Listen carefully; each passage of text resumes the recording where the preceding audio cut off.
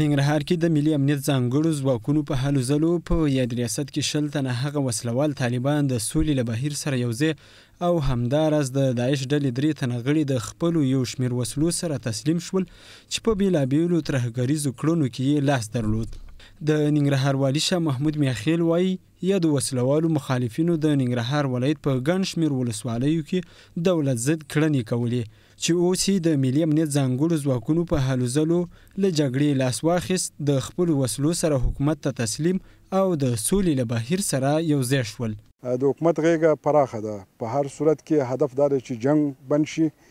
دا کسان چې کوم یو دلته راغلي دي، دا د خوګیاڼو، بټي کوټ، غني خېل، مومندرې او چپرهار د ولسوالۍ اوسېدونکي دي او دیو د خپل هغه فعالیتونه چې درلودل د هغې نه لاس واخیسته او خپلې سلاګانې حکومت ته تسلیم کړلې.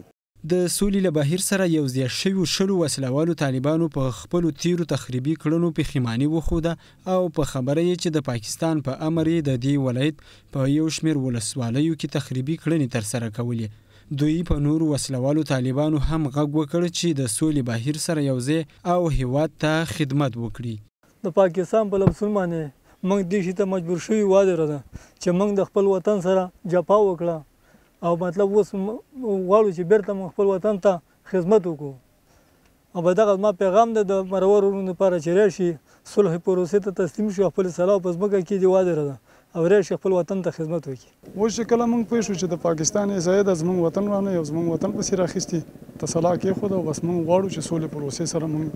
یو ځای شو او خپل وطن دفاع وکړو. باید یاده شي چې څه وخت وړاندې هم د ملي امنیت ځواکونو په جلال اباد ښار او ګڼ شمیر ولسوالیو کې د داعش ډلې درې تنه غړي او همداراز درې وسله وال طالبان د بېلابېلو ترهګریزو کړنو په تور نیولي وو.